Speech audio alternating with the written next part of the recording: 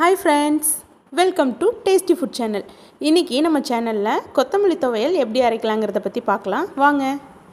First நம்ம உளுந்தம்பருப்பு ஒன்றரை ஸ்பூன் எடுத்துக்கலாங்க. ஒரு ஸ்பூன் கடலப்பருப்பு.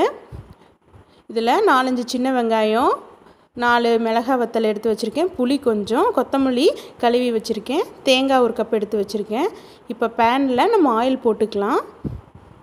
இப்போ ஆயில் சூடானதும் அதில் நம்ம எடுத்து வச்சுருக்கிற உளுந்தம்பருப்பு ஒரு ஸ்பூனு கடலப்பருப்பு ஒரு ஸ்பூன் பூண்டு ஒரு மூணு பல் பூண்டு போட்டாச்சு.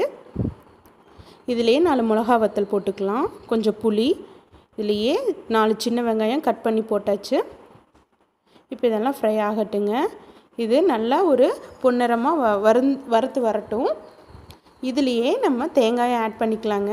ஒரு கப் தேங்காய் ரொம்ப அதிகம் போடக்கூடாது. இந்த மாதிரி கலர் மாறி வந்துருச்சு. இந்த ஸ்டேஜில் நம்ம கழுவி சுத்தம் பண்ணி வச்சுருக்க ஒரு கைப்பிடி அளவு கொத்தமல்லி தலையை இதோட ஆட் பண்ணிக்கலாங்க.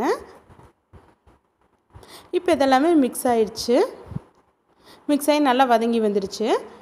இப்போது இதை வேறு பவுலில் ட்ரான்ஸ்ஃபர் பண்ணிக்கலாங்க. இது எதனால் நம்ம ட்ரான்ஸ்ஃபர் பண்ணி நம்ம மிக்சியில் அரைக்கிறோம் அப்படின்னா புளி ஒரு பக்கம் நின்றும்.